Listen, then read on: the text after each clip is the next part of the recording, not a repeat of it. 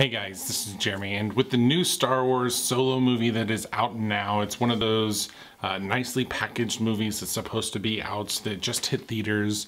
I wanted to do a Star Wars video for you, the top nine movies in order of what I think is absolutely the best videos. Now I'm to try to get this done in seven minutes, so we got to really go quickly through this. Here's the list of all of the videos, at least as far as how much money they made. Surprisingly, I didn't think that this would be the order of what they were like.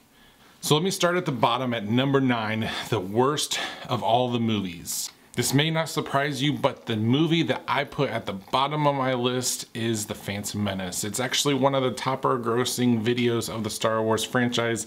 It kind of had a little help of no Star Wars for a really long time and then we're gonna give you something and then it was complete garbage. I'll be honest, the whole uh, Jar Jar thing was really annoying, but even him as a character, you know what, whatever, that's fine. I will endure Jar Jar, but the animation, the, the desire to go from a super wonderful, beautiful world to the grunginess that was the old animation style with Star Wars, it just didn't connect. I felt like they tried to make that transition way too quickly and everything was just supposed to be so nicely polished because we had such great graphics that it almost left me so wanting to have more and it wasn't a good movie. The eighth movie on my list is The Attack of the Clones. Now, again, this is kind of following a little progression here of the prequels. Didn't do so hot. The, the original trilogy going to be awesome. The last trilogy that's still getting created. It's pretty good, but still a lot left to be desired. Attack of the Clones, if I had to best put it, I think that they were trying to get a narrative that would fit really nicely with why things crashed and burned. And again, it's that dystopian, beautiful place that's they create the clones and all the secrecy that happens and the narrative in and of itself wasn't necessarily like super terrible. We had Darth Maul in, in the Phantom Menace, which was great, but the pod racing and all that stuff garbage. This one, I feel like this the disconnect the the lack of actual like combat and then all the scheming stuff just wasn't portrayed really well. And I think that they had a really great opportunity to do something really well with this, but they they left a lot to be desired. They they left a lot of people kind of wondering what is happening and why why should I care? For number seven, I'm going to be a little controversial. It's not going to be Revenge of the Sith. For me, it's The Last Jedi. Um, I'm probably going to get a lot of hate for this, but the the approach of where the narrative is going feels like they are intentionally spending way too much time trying to kill off the previous main characters to make this bad guy and this hero be larger than life. And they spent so much time dedicated to that that they've lost the Star Wars narrative in general. Like, where do you go? Like, what's happening in the universe? I have no idea.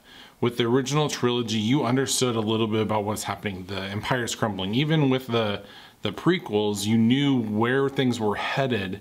And with this, it's like, hey, we're gonna invent some more Star Wars stuff that literally never has been discussed ever. And then we're gonna kind of just like make this bad guy that we kill real easy and another hero dies. And basically all we're left with is the new cast and Leia, which obviously they can't do much with. It, I was I was actually disappointed with this movie. I was frustrated by it. So that's my number seven.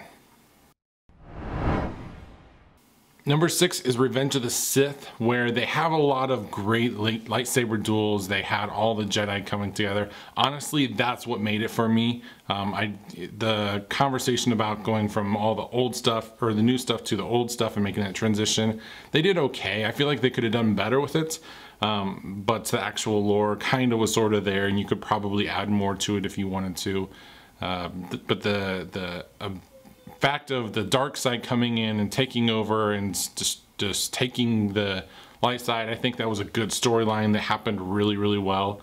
Um, again, I felt like there was this conflict of trying to make that transition from bright and shiny to grungy and dark, and I think the movie actually captured that a lot, especially like with the the terrible, terribly memed at least. I don't know if it's necessarily a terrible fight scene between Obi-Wan and Anakin, but it was good. I will say this is kind of the tipping point for me of everything before that was tragically left wanting a lot. And then from here on, it's like, okay, this is the tipping point of these are the really good videos. I like this. So I'm going to do something that other people may hate. This probably is going to just be one big uh, troll fest as far as Star Wars. But the next item on my list is The Force Awakens.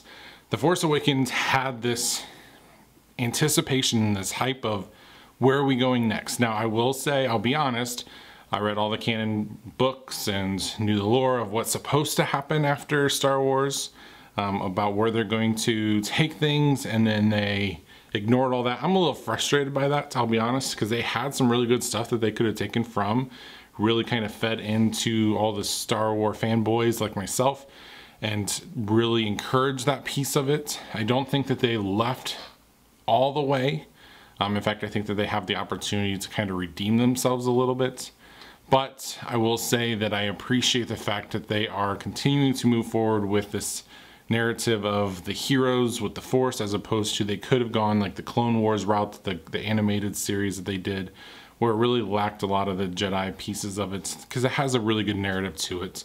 Um, and I think that they did a lot of world building in this that allowed for that ability to see what happens when um, things go well. But we, I think the biggest disappointment is there's this new order that comes in. Where did they come from? Why are they in power now? Why is it that the Empire didn't try to reclaim everything that was happening and why is the new is the new republic just incompetent that they let the worlds fail so badly allowing this new comp they just didn't explain it. Like their world building for the characters themselves. Beautiful i like that.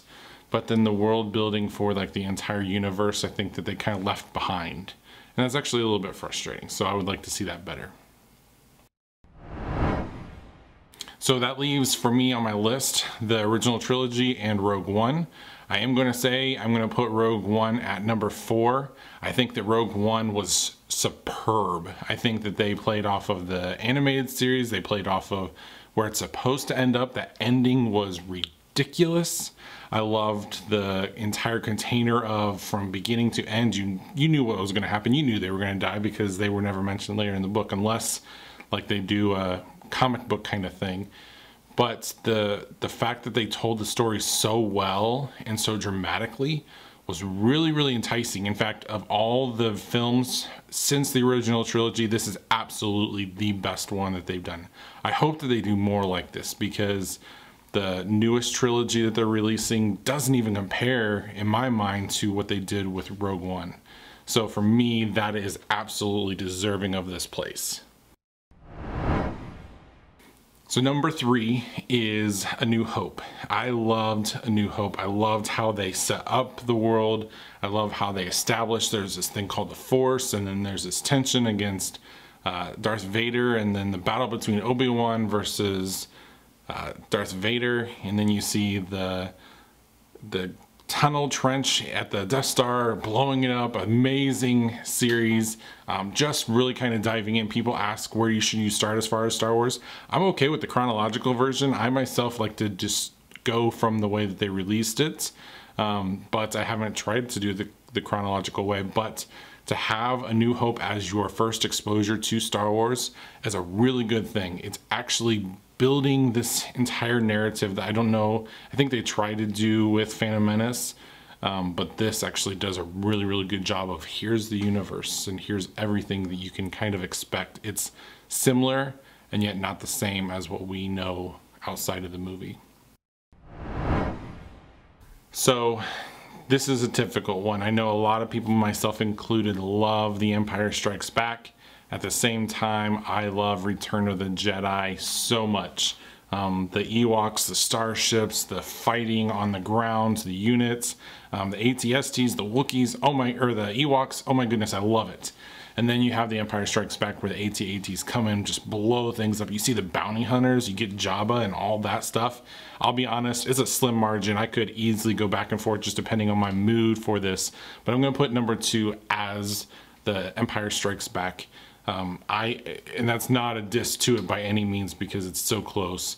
Uh, but I love the fact that they have that just scary empire. They've taken control, and the Rebel Alliance is on its heels. We don't know what to do. We need to get away, and it's really the last hope of Luke trying to help save them.